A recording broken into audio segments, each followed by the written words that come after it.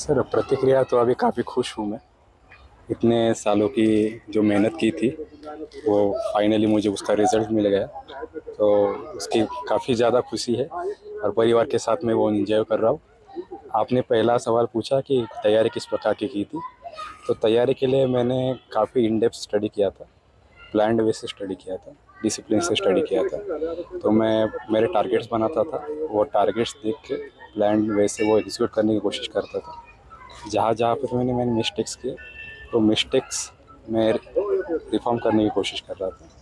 और वो कॉन्स्टेंटली करने की वजह से मुझे सक्सेस मिली। अप्स एंड डाउन्स में मतलब कुछ जगह पे प्रीलिम्स पे मुश्किल आई, कुछ जगह मेंस में भी मुश्किल आई, कुछ जगह इंटरव्यू में मैं फेल हुआ, दो मार्क्स से रह गया।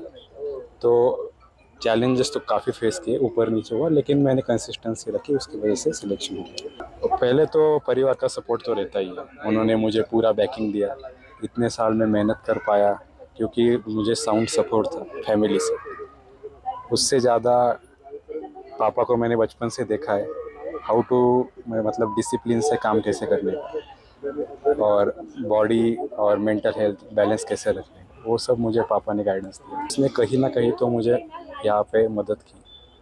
और कहने जाऊँ तो पापा is the one of the way कि मैं बेसिकली इंस्पायर हुआ। तो मुझे पहले आप सर अफसरों के बारे में, उनके वर्क के बारे में बताया तो तो कहीं ना कहीं तो उनका हाथ है, मैं यूपीएससी की तरफ़ मुड़ने ये तो कहना मुश्किल है।